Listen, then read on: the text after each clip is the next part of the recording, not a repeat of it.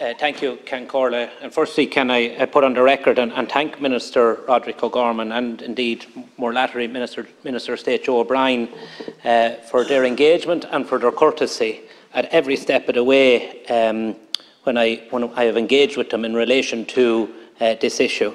Uh, and I'm sure when the Green Party sought the responsibility for this area, their objective was to eliminate direct provision and not to extend it. Uh, but that was in a time um, before uh, the war in Ukraine. Uh, and indeed, the wars and the famine uh, and the persecution uh, the world over. Uh, and now we're left with a situation in, in, terms of dealing with vast numbers of people coming to our countries seeking asylum. And I've often said, and I firmly believe, the lottery of birth uh, determines so many of our outcomes. It determines our outcomes even in terms of being born into a functioning family, be born into a family where there's no poverty. But it clearly determines in terms of in what country uh, that you're born. Uh, and for all uh, the challenges we face here in our country, we are extremely fortunate. We're extremely fortunate uh, to live in a prosperous, developed country uh, with a functioning democracy. And I must acknowledge, to be fair, uh, for the most part, uh, both government and opposition haven't used uh, this, or opposition, I should say, haven't used uh, this crisis as an opportunity to exploit fear. There is a minority that is, but for the most part, they're not, and that must be acknowledged.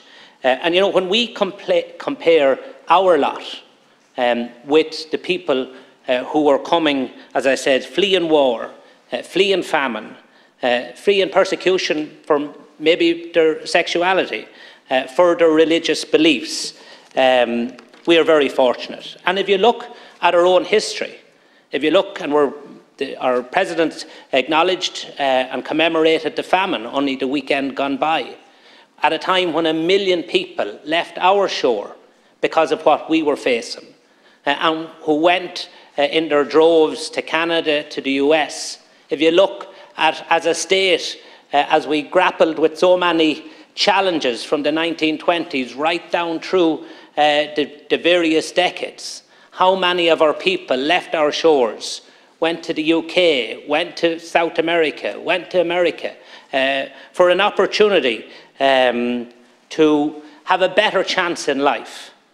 Uh, so, you know, leaving aside the legal obligations that we have as a state, I believe that we have many moral obligations and a moral duty uh, to assist people who, by for no other reason but lottery of birth, uh, find themselves uh, in the situation that they're in. And I think, you know, any fair-minded person would have to acknowledge that at a time when 73,000 Ukrainians Ukrainians have come into this country. Uh, and up until the 14th of May, uh, 20,450 people seeking international protection. That is a serious number of people that are coming in that we have to respond to. Uh, and I must compliment and indeed thank the Irish citizens because for the most part they have been extremely welcoming uh, of uh, people coming to our shores. They have opened their houses. And I must say there still is situations, Minister, where pledges have not been uh, accepted and implemented, and that, that shouldn't be the case. But only on Sunday, I was in uh, Moate running a 5k road race, and I met a Ukrainian people who came in, in, in, in January. The young girl came second in her category, uh, and one of the, the adults was there. They were so thankful for the welcome uh, that they got in in, in County Westmeath, and that's replicated so many other places. But the one thing they asked me when they found out I was a politician is, where can we go to get work? Can you help me get work? Because I want to contribute back uh, to society uh, and uh, the country. But 12 months on, Minister, I think we need to reassess our response uh, and acknowledge while it has been hugely challenging and we have made huge strides and huge progress, there are areas that we have operated below par. And I think uh, we need to look at that now and see how we can bring that areas forward. And one area is in the area of communication. I think, you know, the absence of effective communication leads a vacuum uh, for misinformation and leaves an opportunity uh, for people with an agenda uh, to exploit uh, legitimate fears uh, and concerns. And I think we have to be very careful, Minister, um, for people who have legitimate fears uh, that they are engaged with, that they are adequately informed, and they are reassured um, and their concerns are addressed. Because if we don't, we run the risk of forcing those people into the extreme right to be exploited further. And I think we need to improve on our communications.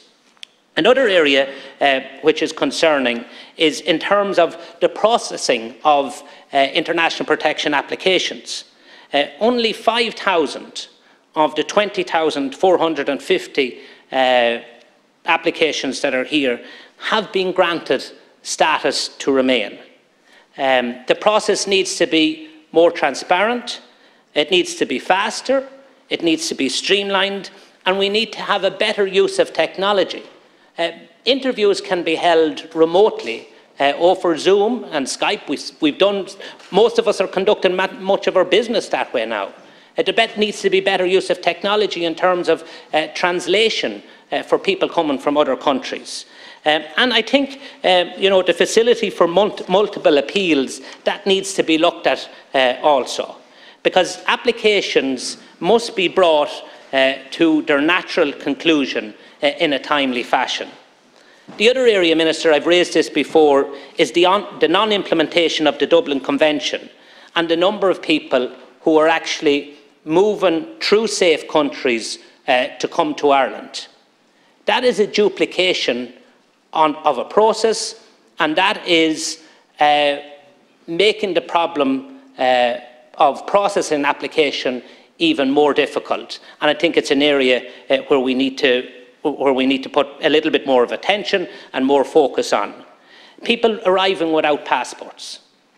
Uh, Minister, nobody can embark a plane without a passport. And I think engagement, and I've made this suggestion both to the Minister for Justice uh, and the Minister for Foreign Affairs, uh, sorry, the Minister for Transport, uh, that they should engage with the airline industries. Uh, when you're presenting to get on a flight, you have to present your boarding pass along with your passport.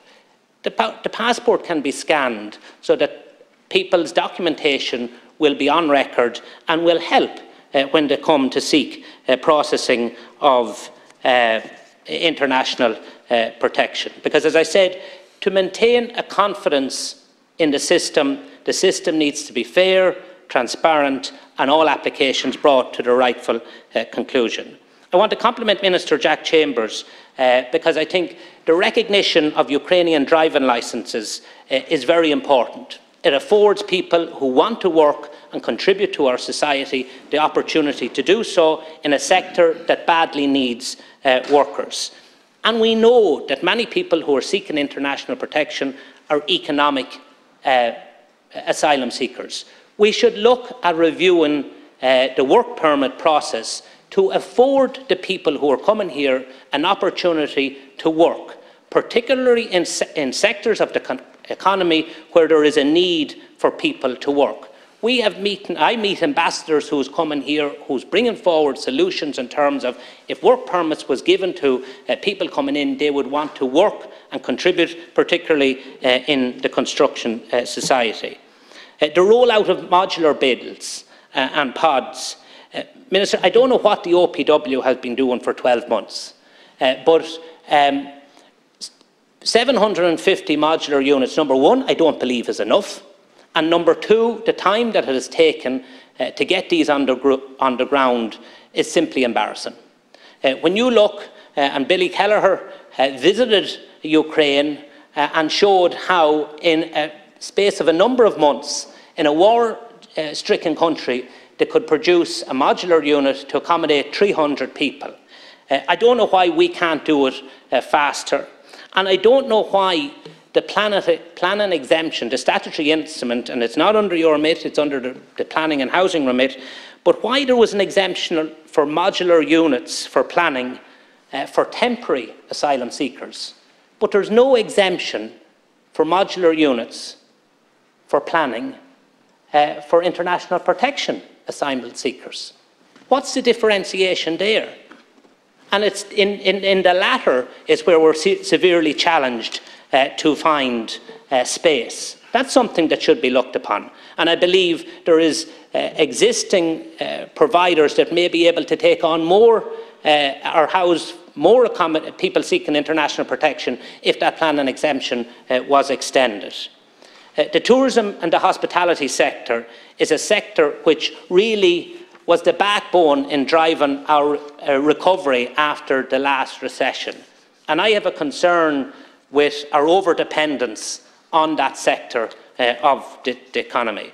It's not a sector that you can switch on and switch off uh, like a light switch. And that's why I firmly believe, Minister, we need to revisit um, the state buildings uh, that are available. Um, you know, we had a report recently where we had housing within the Department of Defence, uh, totally underutilised. Um, I've given an example in my own constituency, in Mullingar, Columb Barracks. I've been through the buildings.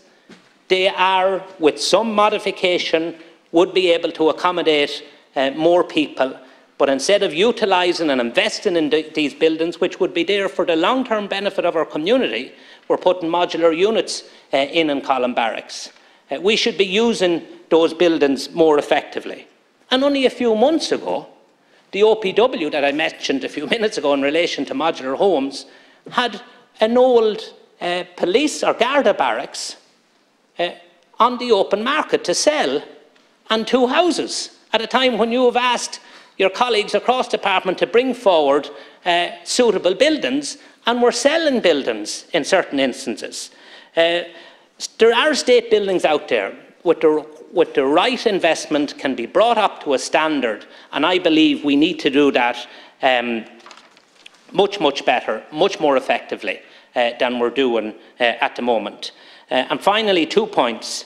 Uh, Minister, I want you to double check when you go back that everybody who has a contract uh, to offer a service to this state, that that contract is not being underutilised.